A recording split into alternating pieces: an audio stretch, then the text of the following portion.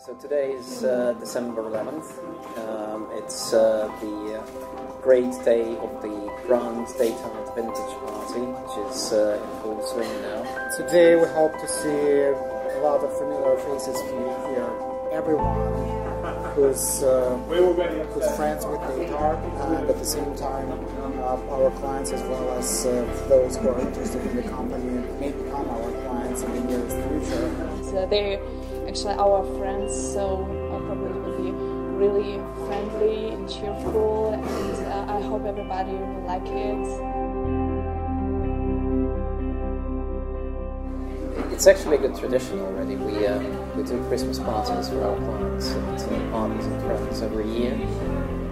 I, I, don't remember which one this year is, but let's say it's number five. The goal of this event is to know, just get together, have fun, tell people about who we are, um, what we do.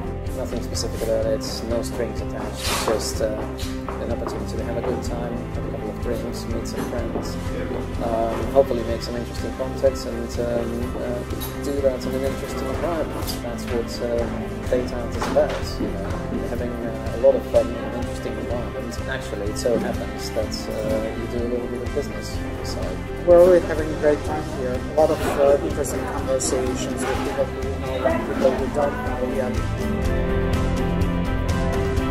I'm sorry you can't hear the uh, noises of the party going on upstairs, but uh, that's just life. I'm going to be joining them in a few seconds.